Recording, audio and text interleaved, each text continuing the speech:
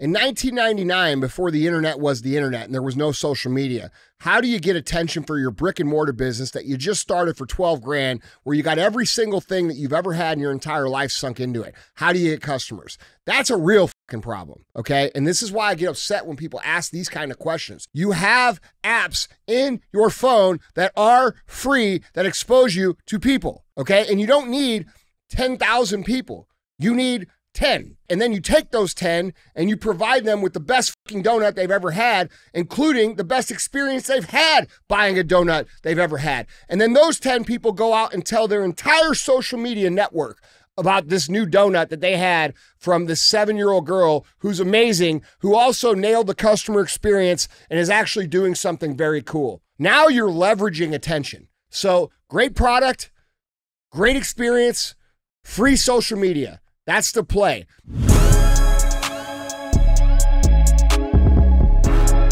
What is up, guys? It's Andy Frisella, and this is the show for the realists. Say goodbye to the lies, the fakeness, and delusions of modern reality. Was it modern society? All right. And welcome to mother freaking reality. I'm not even doing it over. I don't give a shit. All right. Uh, all right. So we have Q and AF today. That's where uh, you submit the Qs and we bring you the AFs. You can submit your questions one of a couple different ways. The first way is, Guys, you can email those questions into Ask Andy at andyfrisella.com. or you can go on YouTube on the Q and AF episodes and drop your question in the comments, and we'll pick some from there as well. Other times we have CTI. CTI is Cruise the Internet. That's where we talk about what's going on in the world, current events, news. Uh, we make some jokes. We speculate on what's true in the world, what's not true in the world, and then we talk about how we, the people, can be the solution to the problems going on. Other times we have real talk. Real talk is just five to 20 minutes of me giving you some real talk. Other times we have full length. That's where we bring a guest in. We just have a conversation like you see on most other podcasts. And other times we have 75 hard verses. And that's where we bring people in who have completed the 75 hard portion of the Live Hard program, which is the best mental toughness calibration program on the planet. It's legendary. You've heard of it. Um, and the reason you've heard of it is because it changes people's lives. You can get that program for free at episode 208 on the audio feed. You can go to 75hard.com or you can buy the book on my website, 75hard, not required. But if you're somebody who wants to know the ins and outs at a deep level, that's where you should go. Uh, we have this thing called the fee. Now, for those of you who don't know, I'm a fairly successful entrepreneur. I've built a few companies and done okay in my life, and I've done it uh, without the traditional help that most people have. I didn't have investors. I didn't have rich parents. I didn't have people to give me money. I didn't have people to, you know, do it for me. Uh, we did it from scratch. And I share those lessons with you guys for free here on this show. And I only ask one simple thing. I don't ask you, I don't pitch you, I don't do all these stuff. I ask you one simple thing, and it's this. If you get value from the show, please share the show. All right. I get censored everywhere I go because I do not hold back. I think you guys know that.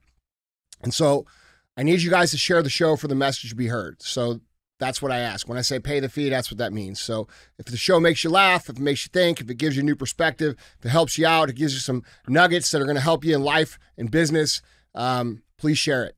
That's that's how we operate here. So anyway, what's up, dude? Hey, how's it going? Good. Yeah, it's a good Monday morning. Mm-hmm. Yeah, coming back off a good weekend. That was good. Yeah. Yeah. Yep. How you doing? Good, man. I always like to just check in with you. Yeah. You know, because there's some some days like we don't even like. I might barely get like ten minutes with you because Yeah. you're you know Yeah. doing entrepreneur shit. You know, so just, how you doing, man? How are you? Yeah, good. I'm sore. Yeah. Yeah, I'm sore. I can't figure out what's going on with my body, and I think it's just called getting old. You know, Mm, I'm like sore all the time. I smell it. Yeah, really? The mothballs? Mothballs They're coming through? I've been getting a hit, but like your I believe it. Your dad walked by at the same time, so I didn't know Uh, Who's Okay. who? where the f- where yeah, they come from. That makes sense. but uh, I can feel it, man. Yeah. I can feel the mothballs starting to form inside me, bro. Like I can hear them too. Like my knees make noises, my body makes noises. yeah, Like shit don't feel right. yeah. How do you combat that? You don't. You Mm. just wear it. You just go. I saw it. this question on a Q, uh, somebody's Q and A button on Instagram, and the question was, "I'm in my mid 40s, and I'm sore as f-, and I just fucking laughed. I'm like, "Yeah, There's no fix. That's how it goes. Yeah, no hack to that. Yeah. Yeah. And like, dude, everybody said that stuff when I was younger. They were like, wait till you get to be 30. It didn't really bother me. Like in my Mhm. 30s, I was fine. Wait till you get to be 40. That didn't really bother me either uh, until I had that injury, right? Yeah. And now that I'm like healthy and I'm training again, I'm training probably as hard as I've ever trained or close to it. Um, it's taking its toll. But the reality is, is I'd rather feel sore than feel like a lazy, you know, plebe of a person. Yeah. So it is what fact. it is. Yeah. Yeah. No, that's a win there, man. That's a win. Well, uh, I got some good ones for you. All right. Let's get to it. Let's knock these out, guys. Andy, question number one. And by the way, Yeah. I don't need advice on what to do to not be sore. Oh, it's coming. I know. Oh, it's coming. Like I don't hey, need. Andy, like, have you tried anal yes. butt lube? Look, bro, I've done all the anal butt lubes. all right, I've done all the. I've done the enemas. I've done all the all the weird shit. I've done it all. Just assume that. All right. I I know what I'm doing. You know, I've I've built some things around that knowledge. there is one thing that does work that I actually got you on. yeah. The uh, uh Chinese bear piss. Yeah. No, it was what's that Tiger shit bomb. called? Tiger Balm. The Chinese tiger. Yeah. I'm yeah, Tiger Balm. That shit is awesome. it's great. That's like an ancient. That shit is magic. It's an ancient black secret. Yeah, I don't I don't do ads on the show, and they're not giving me anything. But I'm gonna tell you this: that, That shit shit, works. really works. Works. Like when I first started uh, working with Bro, that shit DJ, cures COVID. I, dude, DJ throws me a bottle of this. sh- I was sore, and he throws me a bottle of this. shit. He's like, "Here, put some of this on." It's like this little bottle, Mm-hmm. like this big. Like, "Put some of that on you." I'm like, "What the fuck is this? I've never seen this before in my life." He's like, just put it on there, and I'm like, fine. I put it on there, dude. I felt better. Yeah. Like it made me feel better, like with, like considerably better. Good shit. Yeah. Whatever's in that, Yeah, like I- I don't it's only know. a matter of time before they make it illegal Yeah, 100. because it actually works. Oh, it'll be black market for sure. Yeah. Especially after this episode. Have you never tried that Tiger Balm, dude? That's what's called, Good right? shit. Yeah. That stuff is great. I think you can get it like CVS Walgreens. Yeah. You know, It's a little bitty jar, dude. it's expensive. You don't need much, No, but that's the thing. Uh, one that little bitty jar last year, last year. for oh, there it is. Bro. That stuff, Yeah. that's the real deal stuff right there, man. Chinese bear piss. Pain relieving ointment. That really works. It's like Ben Gay, Let, but less gay. but without the gay. Yeah, Yeah. for sure. It's Ben. It's like Ben Straight. What? but guys, Guys, let's get into this. that was man. like th- that. See, guys. no, that was good. No, see, no, see, that's what people look like when they laugh because you pay them.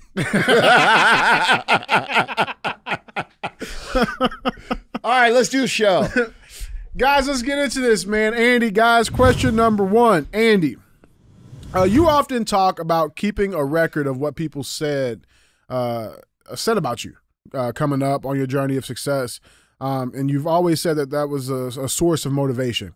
How exactly do you use that fuel uh, in the right ways? Yeah, look, man. Uh, anytime you set out to do anything great, you're going to have people that are going to talk shit. All right. When you operate outside the realm of what's normal or considered normal by your friends, your family, your neighbors, your peer group that you grew up around, you're going to learn real fast that people don't like it. Yeah. All right. And they're going to judge you. They're going to discourage you. They're going to put doubts in your mind. It's usually passive aggressive doubts, sound stuff like this. Are you are you sure you're going to do that? How are you going to do that? Mm-hmm. Oh, you you better you want to do that? Oh, you better get started now because you know nobody ever makes it in that. These are things that people will say, right? And then the next the next thing that'll happen is, you know, you'll be in it and they'll be calling you, you know, after a year or two and they'll call you and be like, "Hey, you okay? Mm-hmm. What's going on?" You know, and they'll act like they're real concerned, but what they're actually trying to do is they're trying to dig out what's really going on Um, because they want to hear your pain. They want to hear your frustration. They want to hear that you're struggling and that you want to quit and that you made a mistake because they want to affirm their position Yeah. of never trying. All right. So- Validate their excuses. correct. Yeah. They they want to they want to validate themselves to say, okay, see, I made the right decision by not trying to do what I wanted to do. Mm-hmm. So then what'll happen is you'll start to get some success and you'll you'll get a new car or your business will grow. You'll you'll it'll be clear that you're getting some sort of success and they'll stop talking to you. All right? And they'll stop talking to you um and when you see them, they'll say passively insulting stuff. Like for me, what they would always say is, you know, and this is when I'm I have you know a dozen stores and uh, uh, other companies that are you know producing good amounts of revenue, and they say things like, "Oh man, you, you know you still you still got that little vitamin shop," so they'll try to minimize, and all of these things are fuel. Okay. And so all of these little remarks, all of these little snide comments, all of these little slights and uh, shade that people throw on you, these are fuel if you look at it properly. Champions look at these negative remarks as fuel to push them down the field. They understand how to take and bank every single negative thing that is said about them with a smile on their face. And then instead of getting mad and like commenting back or getting in an argument or draining their energy arguing with this person or debating with this person, they just take all of it and collect it up. And then when they don't feel like doing what they know they're supposed to do, they think about those things and they think like, yeah, I don't really feel like doing this today, man. Like this, I'm sore, I'm tired, I'm I'm I'm burnt out. But that motherfucker said I wasn't going to be able to do it. You know what I'm saying? Yeah. And and that's where you pull this negative energy from. So how you actually do this is that you take the negative energy and when you start to feel lazy or undisciplined, which happens to everybody no matter how disciplined you are, you you remember all these negative things that people said to you about how you're never going to make it, how you're never going to do this, how you're never going to be what it is you say you're going to be. And you, you, you think about those things for a second, and then you get up and you go do whatever it is you're supposed to do, knowing that if you stay where you are and you actually give in to that moment of laziness or that lapse in discipline, that you're actually proving them right. Okay, so the question is basically how do you do that? That's how you do it. People talk shit. You collect all the shit talking, you put it up on your shoulder as a big chip when you need it because you don't feel like you uh, have what it takes to get done what needs to be done today. You think about what they said and you go do it. And that's how you use it in a, in a healthy way. You know, people try to say, oh, that's not a healthy way. You should only be motivated by the people who believe in you. Well, if you're only motivated by the people who believe in you, you're not going to be very motivated because most people don't have anybody that believes in them. Mm. That's the whole point. The beginning, right. Yeah. And when you talk about this idea with people about how you know, you should prove people, uh, the, the believers right instead of proving motherfuckers wrong. Well, you're limiting your fuel source because in the beginning, you don't have anybody that believes in you because you've never done anything, which is a perfectly logical position for them to hold. You've never done the thing, all right? You've never even indicated that you can do the thing and you feel entitled to everybody around you to their belief and your ability to do the thing. That's an illogical way of thinking about it. And if you look at the fuel as just the people who believe in you when you first say what it is you're going to do, you're not going to have any fucking fuel. So you have to use the negative fuel. You have to shove it down people's throats. You have to remember all the shit that people said because that's what's going to drive you down the field where other people who are doing it just to prove people right are going to be people who never get anywhere because nobody believes them in the first place. So we have to really understand that operating from the dark side, operating from the negative energy is a very productive way to operate. And if you look at any of the greats of all time at what they did. Tom Brady, Kobe Bryant, Michael Jordan, you know, exceptional business people, etc. These people, when you get them alone and you talk to them, they're not talking about the motherfuckers that believed in them. They're talking about the people who talk shit. They're talking about the people who, you know, made snide comments and then smiled in their face. I just saw a post about this from Deion Sanders yesterday where Deion was like, you know, people say the most ridiculous, asinine, hurtful things to me, and I just smile in their face, and they they they think I don't know, and I I know everything, and I never forget, and that's how champions have in their mind. Like I might smile in your face, bro, but don't think I don't know what the fuck you thought or what you said. I fucking know it, okay? And I'm gonna take that, and I'm gonna continue to win. And every time I win big, I'm going to smile in your face and shake your hand when you say you're proud of me. And then I'm going to walk five steps down the way and be like, I showed that motherfucker. Fuck him. And that's how it works, bro. Yeah. Like it's reality. And people don't like that. They think it's mean. It's not mean. Those people were mean to you when you were starting. But in fact, they actually gave you a massive gift if you know how to productively use the dark side energy. So it's not a bad thing. Don't let these spiritual gurus on the internet try to convince you that this is a bad way to fucking live because reality is is that in the beginning, especially, you need it. Now, as you progress down the path, and as you get some success and as you prove to all these people that you're not just this regular plebe of a human being like they are, you're actually doing things, your motivation and drive will change and it will become purpose motivated. Because, dude, if you just operate on that dark side energy forever, what'll happen is, is you'll run out of it because eventually you'll become so successful that people don't really doubt you anymore. And when people stop doubting you, it's no different than whenever you were in the beginning and you were looking for people who believed in you. Yeah. Okay. So when you win big, people stop doubting you and they start saying, well, yeah, he wins at everything he does. And if you operate exclusively on dark side energy, where are you going to get your energy from? You understand? Yeah. So it's a different game. So then what happens is, is you start to open up and look for the purpose. What is my mission? What is my purpose? And as I've evolved, my mission and purpose has become bigger and bigger and bigger and bigger. It started with my realization that it wasn't just about me, it was also about the results that I produced for the customers. Then it became the life changing results that I produced for the customers, along with the responsibility of the careers of the people who are in my company. Then it became we can use this entire culture that we're creating with people who were changing their lives at a, at a, from a customer standpoint, and we're changing these people's lives from an employee standpoint, and we can build a culture that actually changes the entire fucking landscape of business. And then it becomes we can not just change the landscape of business, we could change the landscape of culture as a whole. You see? So the mm-hmm. vision keeps getting bigger and bigger and bigger. But in the beginning, all you got is people that don't believe in you. So it's perfectly okay to use that energy. In fact, if you don't use it, I think you're going to get your ass beat. Mm. So that's real, man. I want to ask you this too on the follow up. Have you had people in your life that flipped? And what I mean by that is like in the beginning, they actually did believe in you, maybe genuinely, but then once you start making the success, they're flipped to to being envious, maybe or jealous. Like, I mean, what, what's your take on that?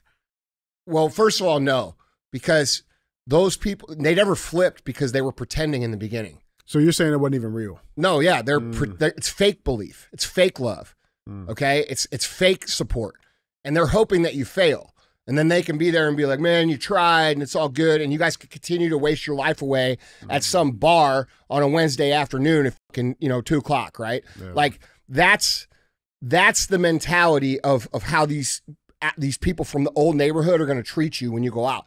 So there's not like a whole lot of people that truly believe in you, right? You might have a couple, you might have a parent, or you might have a brother, or you might have, you know, somebody that's close to you that like is willing. But people will show you how they believe in you by how they help you win. Mm. People that actually believe in you will help you win. People who don't believe in you will say, "Oh, I believe in you," and then they're gone, yeah. right? And then they'll show back up whenever you have the good times happening, right? You have the money, you have the the, the exciting events, the you, vacations, you built something, yeah, yeah. right? And they'll come out of the woodwork. But the reality is, dude, is um, you know, people have a hard time being happy for success, and the unfortunate reality is is that once you get to a certain level of success, it does change your friendship dynamics with most people because the reality of like a, a very high level life is that when you when you talk about it like if we were all out to dinner and I was around a bunch of people that just had like normal jobs, right? And I'm talking about what I do, that perception to them is that I'm bragging. Right. Right. Where well, I'm, it's uncomprehendable. Well, dude, but the perception is yeah. I'm bragging. When in fact I'm just talking about the reality of my life. Right. When when people when people say that thing, you you've changed, they don't understand that they're actually giving you a compliment. Mm-hmm. You know what I'm saying? Like that's the point. The point is to change. The point is to evolve. The point is to get better. And when people when you're when you keep surrounding yourself with people who have refused to go on that journey, they're going to hate you for just going on it. So, you know, the reality of business and this is why I talk about the relationships changing over the course of time because your friends today, if you continue to go up that path of achievement and drive and success, those people will not be your friends in 5 years. Hmm. You'll have a new set of friends and there will be a set of friends who are aligned with what it is you're trying to do then. And then in five more years, if you keep going, some of them will fall off, some will go with you. But the the idea that, you know, it's lonely at the top is not a true idea. It's it's it's a that's a loser's perspective of what success looks like. All right. It's said by people who have never been successful. It's not lonely at the top, it's lonely in the middle. It's lonely when you're moving from your first friend group to the second friend group who's also driven like you. And then from the second friend group who's also driven like you to the third who's taking everything to the next level and be and, and so on and so on and so on. Yeah, so those you go, gaps that yeah. These gaps in the middle, I call them no man's land. Like a lot of you spend a lot of time in no man's land and it's lonely when you're there. But the reality is is the friendships that you build by continuing to pursue your own true potential and become better and better and better and better are better and better and better and better. They're just less in numbers. Like I have less people that I talk to, but the relationships that I have are much more valuable. If that makes sense. Absolutely, man. I love it. Uh, guys, Andy, question number two. Andy. Uh, hey, Andy, my seven year old daughter was reading one of your Otis and Charlie books, The uh, Fantastic Fruit Stand. Uh, and she said, I want to do that.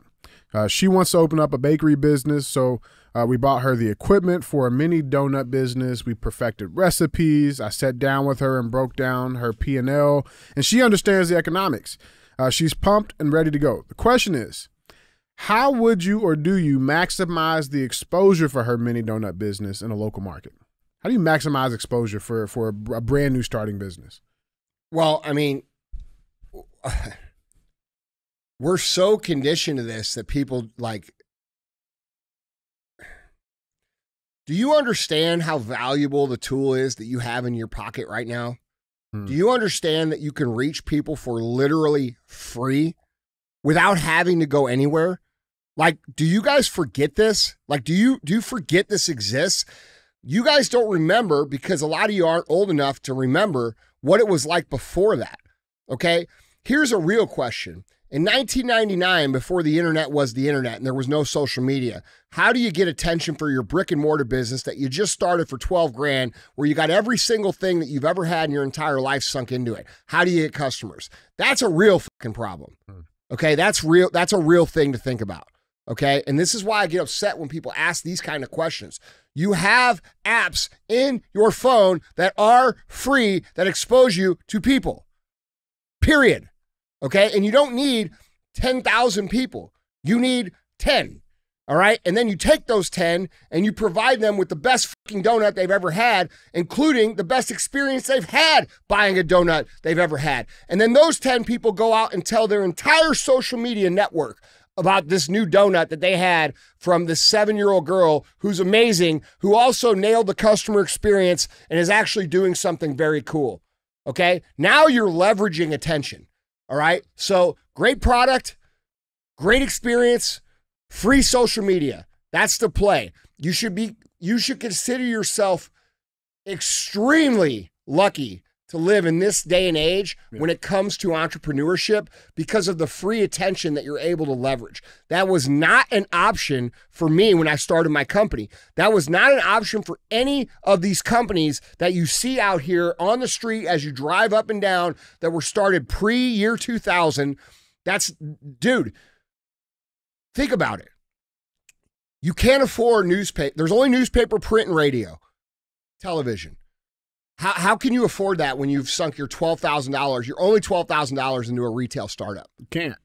No shit. So you know what I had to do? I had to go door to door and I had to knock on doors, thousands of them for years and say, "Hey, I'm Andy. I'm down the street. We got this thing, supplement superstores. If you guys are into working out or you're into, you know, you need to get in shape or whatever, dude, come see us. Here's a couple free things: a t-shirt, shaker cup, a free bar, or whatever I could do, right? That's how we did it. So you can also implement that. I would implement that. I would get a little donut cart and I'd go door to door to these people and make them aware of you. I would do everything that you could possibly do because business, contrary to what the internet presents it to be, is very competitive and very difficult and very hard for anybody. Mm-hmm. So you have the free the free internet, you have the ability to leverage your own customers word of mouth by doing an excellent job and you have the ability to put one foot in front of the other and go actually see people if you want to do it. I mean, I was going to ask you as a follow up. Like, do you think? I mean, especially in this day and age, because listen, we we know for a fact there's a lot of kids, a lot of young people out there who are socially awkward, right? So, like, what would be the point of pouring all the gas on social media if you don't have those social interpersonal skills, communication skills, right? Well, so that's we- why you should do both. That's what I'm because you're like, going to you learn. You'll that? learn Yeah. the personal skills through the reps. right. You know, this is why I recommend young people, you know, who want to become successful and they always they always turn their nose up at this when I say it. But dude, you should go get a retail environment job in a high traffic establishment for the reps alone. Yeah. The ability to talk to many, many people on a daily basis is a massive driver of your skill set that most people will never get. The reason I can do what I do is because for years and years and years and years, I talked to dozens and dozens and dozens and dozens of people every single day. All right. And then I was intentional about it. I was coaching myself. I was breaking down the interactions. I was thinking about how could I say this or how could I do this or what could I do better? Right. So when you actually become intentional about improving your people skills, most people can't compete with that. Mm-hmm. Like, because it's still people. You can use all the technology you want, but at the end of the day, there is going to come a time where you're going to have to actually connect with real people. And if you can't do that, you're at a massive disadvantage to, the people who can. And the people who can are becoming less and less and less and less, which makes it a massive opportunity to go out and intentionally create this skill set. Yeah, I love that, man. So, so build build a great product, build a great buying experience, Yes. build those interpersonal uh, communication Yes. skills, and go get it. Yes. Yeah. it. And you've never been able to do this for less money or, or less effort in the history of Earth. So, you know, like I don't have sympathy for people who come to me and they're like, I don't I don't know how to get traffic to my business. Well, motherfucker, you got two feet, right? You see those doors over there? Go fucking knock on them. Mm, You know, at the bare minimum, do that. yeah, See, and this is why I talk about zero options mentality because that's scary, right? right. But in the beginning of my That's an business, option. be- no, there was no other option for Yeah. me. Dude, do you know how terrified I was to go knock on fucking doors, bro? That's terrifying. But I didn't mm. have an option. And I knew that if I didn't do it, guess what? I'm going out of business. Okay? So learn to cultivate that mentality. Like it's all or nothing, bro. I still come to work after 25 years. I'll be 25 years in this game on January 1st. Okay? After 25 years, I still come to work convinced that if I don't give my best, we are going out of business. And that that is an absurd thought to people. Like people laugh at it. Yeah. They see my life, they see the companies we've built, they see all the shit going on that we're working on. I come here every day like convinced I might like and I know it's not like when I stop I almost have to stop and think about it sometimes that it's not true. That's how much I've convinced myself that it's true. And that's important. Because, dude, if you, the minute you get lazy, the minute you get uh, the lack of urgency, the minute that you let off the gas, bro, there's a whole bunch of hungry people behind you doing the same thing. They're going to beat you. hmm So, like, And that's real. yeah. So, like, dude, cultivating this zero options mentality, I must do this or else I will lose everything is a massive driver for the entrepreneur. Now, if you go talk to the online, you know, spiritual gurus, they'll say, well, that's a very unhealthy way to live. Well, yeah, so is being broke. you see what I'm saying? That's real. Yeah. So, That's real shit. yeah. I don't know about you guys, but I don't have a fallback plan. I got to come here every day and give it my all. That's it. And I've done that every single fucking day for 25 years. And when you look around at my life and you wonder why I got it, that's why. Yeah. And you'll have it too, bro. And the best part about it is you have access to this technology that we're talking about. So that 25 years for me could be 10 for you. That's how you should be thinking about it. Love it, man. Guys, Andy, our third and final question. Andy, question number three. Uh, this question's about self doubt. Okay. Andy, how do you get through the days of self doubt? The days you truly feel like you hate yourself, you're not capable. How do you get yourself past those days of self doubt? If you haven't. I it's that's discipline. Hmm. That that's operating from a place where you are going to get whatever it is that's needed to be done done regardless of how you feel. Do you know how many days I execute at a perfect like a perfect level where I feel like total dog shit? A lot of them. Yeah. Do you know how many days I over 25 years, bro, that I've executed at a literal perfect level over the course of a day where I felt like quitting that day? Or how many days I've I've I've I've executed at a perfect level where I thought I was shit or thought that I was a fraud or had imposter syndrome or felt like I did I wasn't qualified to do those things? It's not about how you feel, it's about how you execute. And that's why discipline is so important. If you can cultivate yourself into someone who will execute regardless of the doubt feelings, regardless of the frustration, regardless of the pain, regardless of what anybody says, regardless of how you feel, you're going to win. It's it's math. Like you cannot outmath the math of that. Like it's you if you win today and you win tomorrow and you win the next day, regardless of how you feel, and you win the next day after that, and the next day after that, and you keep that streak going, it is impossible to lose. It is impossible to lose. Okay? And we get caught up in these feelings and our, our feelings all the time. Mm-hmm. Your feelings, and, and like, dude, I understand it's a real thing. I'm not saying I don't have them. I'm not saying I don't wake up some days and think, dude, I don't know what I'm doing. In fact, most of the days I wake up and I'm like, I don't know what I'm doing, but I'm willing to go do what I need to do, and I do it regardless of what I'm my dialogue is or anything. And that comes down to discipline, dude. Mm. And that comes down to just executing regardless of how you feel. And it's it's very simple concept. It's yeah. not it's not hard to understand. We have too much you guys are inundated with too much bullshit on the internet. Okay? There's too much focus on your feelings. Now, outside of the entrepreneurship spectrum, I am not speaking. I'm talking about the people in, that are listening to this right now that want to win and want to build something great. Your feelings are legitimately irrelevant. It's about how you execute. So if you can, and if you can execute when other people can't, think of the advantage that that has for you. Mm-hmm. All right, think of all these people out here that are asking questions just like that. And on the days that they feel like that, where they have self doubt, they have anxiety, they have frustration, they're saying, "Well, I'm just going to give myself a break. I'm just going to I'm going to take the day off, or I'm going to take you know four days off because I need to recharge and I need to recompress."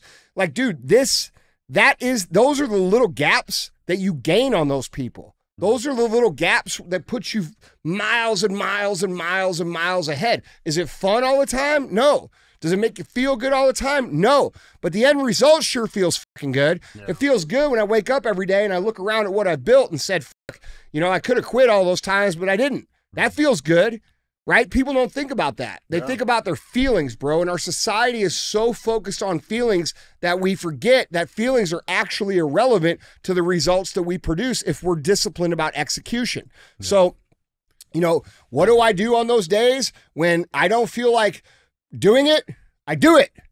It's that simple, man. What do I do on the days where I'm filled with self doubt? I do it. What are those days? What do I do in those days where I feel sick? I do it. I just do it.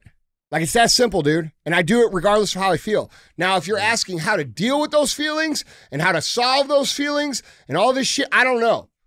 Here's what I do know the more disciplined that you are and the more execution that you do in spite of how you feel, the more confident you become, the less those feelings are, are re- represented inside yourself. Yeah. I very rarely have those kind of feelings anymore because I'm very confident in my ability to wake up and handle my motherfucking shit every single day.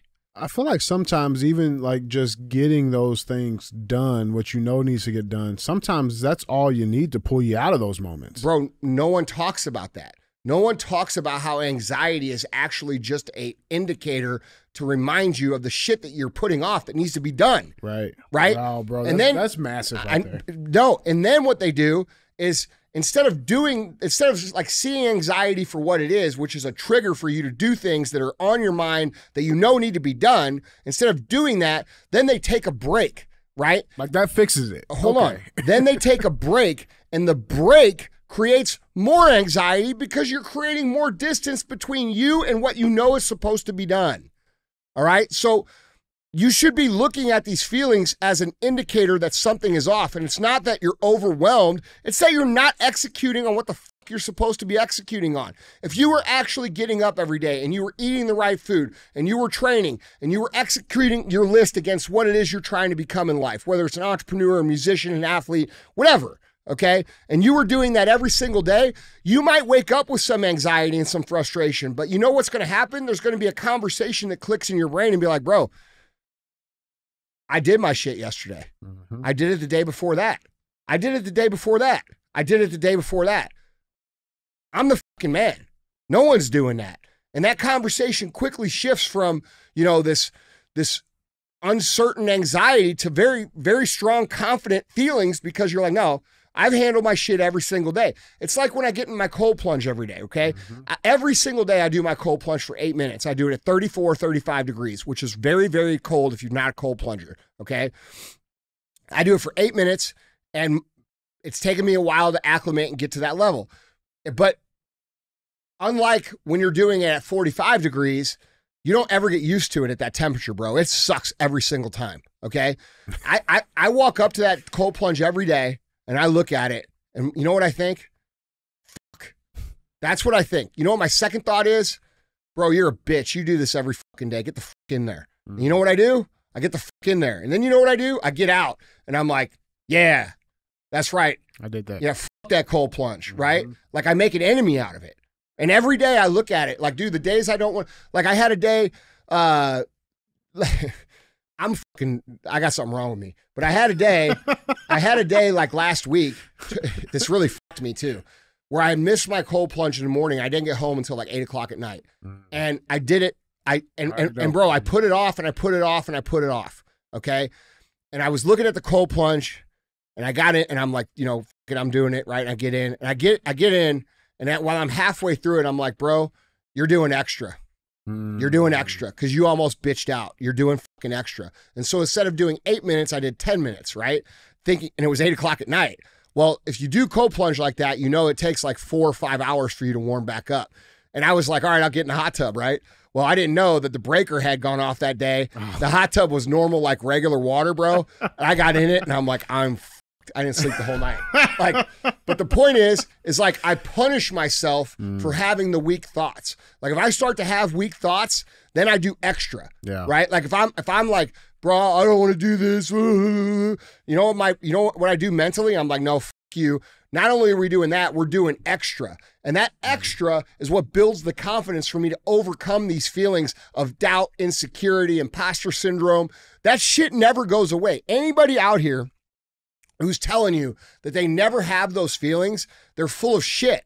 Okay. Like you guys assume that because someone is successful, they've somehow overcome those feelings. That has nothing to do with it. What has to do with it is they've learned to operate in spite of those feelings. They've learned to operate and execute with those feelings. Mm. You see? Yeah. That's that's what you guys are looking to try and solve the wrong puzzle. You're trying to solve it and remove the feelings and then you'll execute. When in reality, if you execute in spite of having those feelings, you actually feel like a bigger winner because you have a better challenge to overcome. Does that make sense? Absolutely, man. Absolutely. You you can't eliminate it, and I think it's about Everything's just, a test. yeah. It's a fucking test. Well, just getting to a point in your life where it's like you understand that this is like this is an expectation. This is expected of this journey I'm trying to go on. No, dude, it's the wrong perspective. Well, yes, what you're saying is right. Yeah. But what I'm saying is people have the wrong perspective because of the garbage that's spewed out by people who have never achieved anything on the fucking internet. Yeah. Okay? They think they're supposed to eliminate all these feelings and then go. Yeah. Well, you cannot eliminate these feelings. So if you can, if your if your logic is I have to eliminate all these feelings and then go, and you cannot eliminate those feelings, when are you going to go? What's the answer? Never. Never. And that's why most people never go. So we have to understand that's not how it works. It doesn't work like clearing my chakras and my energy, and all of a sudden I've got everything where I feel great, and then I'm going to go do the thing. That's not how it works. You have to do the thing in spite of those feelings, and then do the thing again and again and again and again and again till you understand those feelings are actually irrelevant. And then you could build your confidence extra by when those feelings do happen, you actually do a little bit extra. So you actually perform better on the days where you feel like shit than the days you feel good. That's how you do it, man. That's how every winner in the world operates. Like you guys, you guys, you guys have to start pre-qualifying the advice that you're getting from knuckleheads on the internet because most of these people haven't built a motherfucking thing. They do not know what it what it means to win or what it takes to win. They have a microphone and a voice and a platform and some followers with no real evidence to support what they're talking about. If you if you take information from those people, you're to get the wrong picture. And I'm just telling you. I've been I've interviewed the highest achieving people in the world. We've had fucking Joe Montana, Peyton Manning, and Arete Syndicate. Like, dude, champions. Like champions of real shit. I mean, dude, James the Iron Cowboy, all of these guys. They don't wake up in the day and say, "Oh, I got to make myself feel good first. Goggins doesn't wake up in the day and say, "Man, I got to get happy before I go fucking run." No, he says, "That shit. I'm gonna go fucking run. I'm gonna get it done." And by the way, because I feel like shit, I'm doing five more miles. That's what champions do, bro. And you guys are trying to, you guys are trying to become champions, following the playbook of people who have never won anything, and that's not gonna work for you. So you could disagree with what I'm saying, or you could think I'm wrong, but I'm just telling you that's the way it is. It's not fun, it's not pleasant, but uh, when you get through it, you start to develop a sense of worth that is unfuckable, and you get to a point where you look around and you're like, yeah, it's worth it. It's real shit, man. I love it. Guys, Andy, that was three, man. Yeah, guys, don't be a hoe. Share the show.